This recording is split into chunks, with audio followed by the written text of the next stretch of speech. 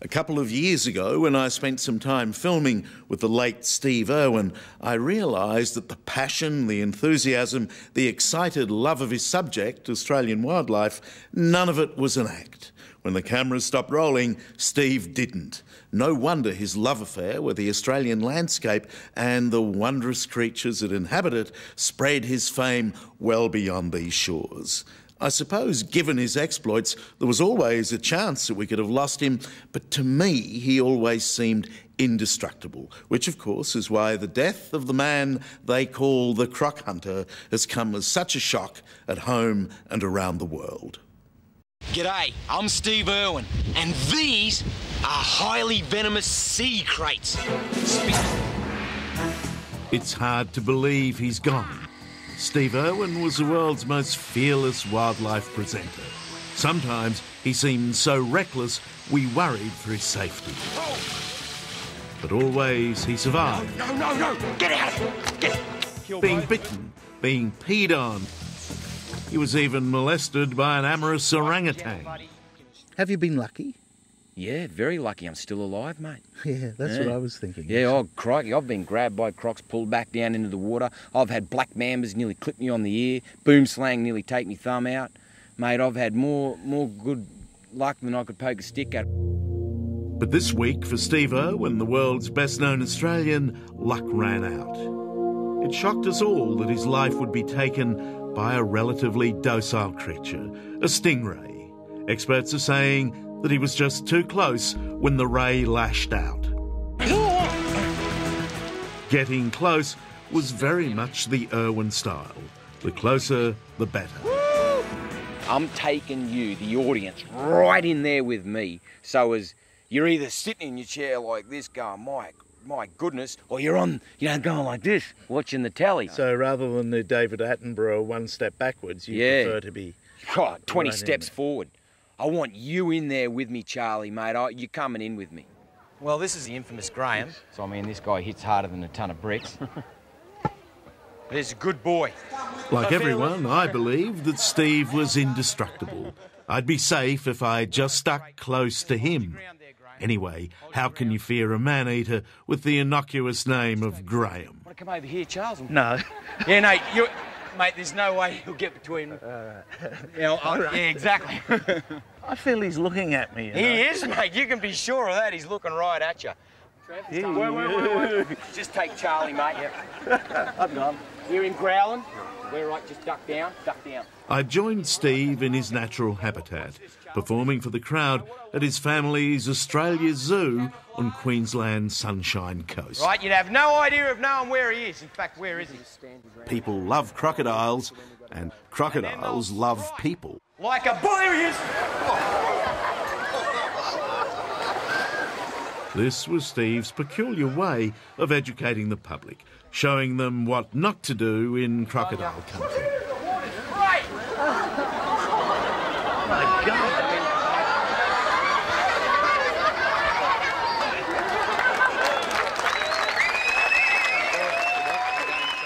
I don't think there has been a wildlife television presenter like you in, No. in the short history of this art form. I don't think And I wonder why it is. I don't know, mate. You know what? I'm really lucky. All I've got to do is be me. I don't have to act. I don't have to bung anything on. I just got to be me, and and and just and people love it. You know, like they're really being educated about wildlife, and and yet they're scratching their head, going, "Is that guy crazy?"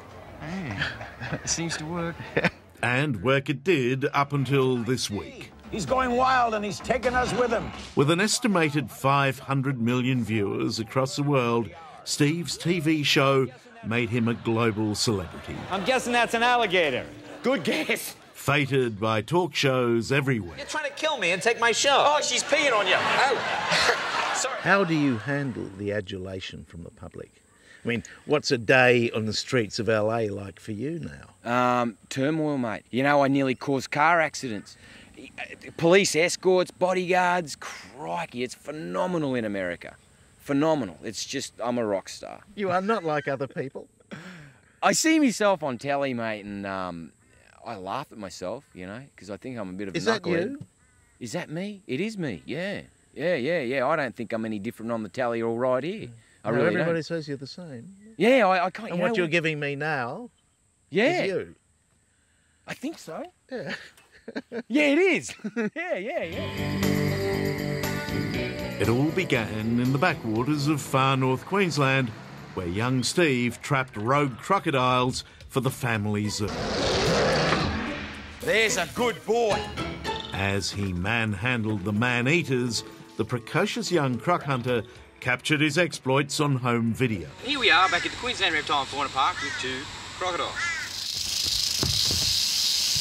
Woo! Look at this! And as he grew, not much changed. He simply became a bigger version of the same enthusiastic kid with the same excitable delivery. Its body, it's thicker than my arm.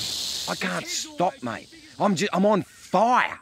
I wake up in the morning and I'm on fire. I just can't do enough. It drives me crazy that I've got to go to sleep. You know, can't I film something at night? You don't drink coffee. You No. don't drink alcohol. You no, don't smoke. No, no, You're just on a Yeah. totally Well, I'm- I- natural high. no. I do adrenaline. All right. Yeah, yeah. No, I can't. I, big you know- adrenaline addict. Oh, a big time. Absolutely. When I do a crocodile demonstration, is if, if that crocodile's not putting a good hit on me, I'm down. When a crocodile strikes so hard and fast that it clips me knee, I'm up. Oh, Steve, be careful. Steve's not so fearless offsider, Terri, was also his wife. Get a stick, get a stick. They first met at one of his crocodile shows while Terri was holidaying down under, and from the start there was this animal attraction. My jaw was on the ground. I couldn't believe this guy, and I thought, I've got to meet him. Then he walked over to the feed bucket and went to grab another food item out of the bucket. And as he bent over, I went, hmm, I've really got to get to know this guy. It's, Mate, I was just doing my routine crocodile demos. I looked into the crowd and I've gone, have a look at this Sheila. She's just beautiful. Next thing, the crocodile's trying to kill me, so oh, I better concentrate on what I'm doing. And I kept watching her, watching her. Sure enough, she stayed back. Um, we started talking about some really hot wildlife issues, and I thought, wow, I can't believe I've found someone that has this passion for wildlife. the idea was to live trap the croc before a poacher shot it. Nature took its course, and just months later, Terri and Steve were married. Their honeymoon was also their very first television show. To just be very, very careful. Woo! Yes! Get right into it, baby. Get right into I'm it. really scared. That's okay. I'm looking at this 10 foot crocodile. I'm fresh out of Oregon, and my husband's telling me to leap upon her head. So, of course, I did. Right, okay. Drop back, drop back. Okay, I'm back. Oh, ouch. In situations like that, sure, I kind of had to follow his lead, but now I, I a little more know what's going on. I'm able to do it myself. I'm really proud of being able to work with him. What amazes me about Steve is the passion. Absolutely. Does he slow down at all? 24 hours a day, seven days a week. This is what, but mind you, I've only known him for 10 years, so. he is absolutely a wildlife warrior, and I think his passion and dedication is so wonderful for the world to see because not only is he sincere about what he's doing for wildlife, but he's also a wonderful role model. You got her? Terri wasn't the only American to fall for Steve Irwin. That's incredible. His first show was snapped up by the giant Discovery Network, and the Croc Hunter became one of the biggest media brands in the United States and the world. All of which helps to explain the extraordinary outpouring of public grief this week across the globe. Come on, mate. Back off a bit. That's it. I can't breathe. Smiling, And mate. with Steve's stardom, of course, came the commercials. Smile. Before I clocks up with you. Oh, crikey. Pentax. Reliable gift. Then the merchandise. Look at this old beauty. Why, crikey. What do you he- Mine say? says smart things. I don't know, but her pants come off. Oh, Look at right. this. Oh, so they do. What do you s- Yeah, well, mine don't. How come they made yours the pants come off? Careful, oh. Steve. Okay, I'll be careful too. Steve and Terri became pop culture icons, and even their daughter Bindi Sue was in on the act. Come on, big buddy. Come on, big fella. Come on. Here he goes. When we showed these scenes, there was no fuss. There's a good boy. There's a good boy. A couple Now, of years later, when he did the same with his second child, baby Bob, there was a huge furore. It was Steve's first instruction on the fickle nature of fame. It's not as dangerous as it looks. Not Nah, for you mate, anyway. nah, nah, But you don't recommend that people do it. at Oh, home. don't do what I. Don't try this at home. Stop Tickling me! A wonderful life for a kid growing up with the animals just as Steve had oh, done.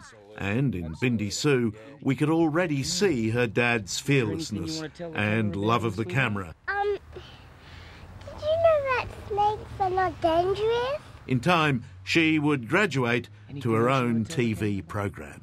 You want to give him a kiss? Oh, no, I don't. No. you might Easy. catch something. Bindi does. How are you doing? There's a good girl. Fatherhood has changed my life.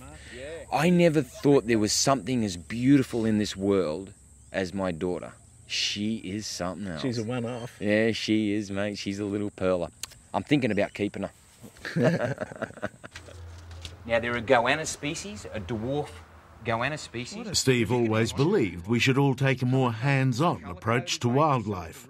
He was convinced that familiarity is essential if we're to ensure the future of endangered species. Steve, how important is it for people to handle things? Oh, that's the ticket, mate. Yeah. That I mean, oh, now that you've got that goanna on your shoulder, you'll be a goanna lover for the rest of your life. All right, I'm hooked. yeah, that's it. You know, touching, using all of your senses is what crocodile hunter Steve Irwin, my family, my life is all about. It's actually feeling their claws in your shirt, watching their forked tongue lick your nose, and see 'em poo too. All right, yeah. Did you see yeah, that? Yeah. Oh, he shot a big poo out there. Now he's wiping his bottom on your shirt, and that's all a part of it, Charles. See, that's changed your life, I've hasn't been it? shat on by a goanna, I'll never be the same. That's right, mate. That's it. And that's what we're all about. Of course, in my new movie, The Crocodile Hunter Collision Course. Steve Irwin was always bigger in America than at home. He was a star there even before his TV shows were seen in Australia. America made him rich, but money and fame he always insisted were not ends in themselves. Much of what he made, he recycled into the best of causes, saving the world, buying up tracts of land, endangered animal habitat in Australia and overseas.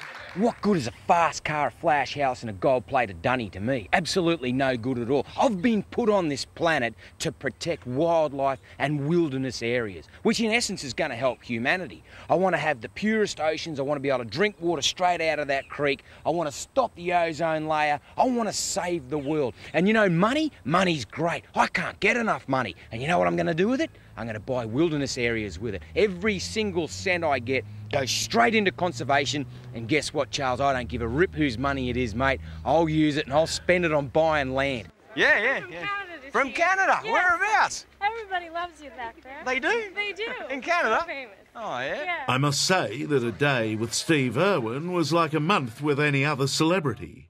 So it wasn't that hard to get to know him pretty well. And the truth about the croc hunter was that he was just a big kid with a passion for the planet. At heart, an animal nut who never grew up and didn't want to. I don't remember doing a story with anyone as unpredictable and uh, foolhardy and dangerous as you. Good. And as much fun. Yeah, you had a bit of a good time, mate. Yeah, well, that's what life's about, isn't it? That's what life's about, mate. Just getting out there, having fun, you know, following your passion and you're and just being enthusiastic. You know, that's the go. Crikey. Yeah, crikey, have a look at this little beauty.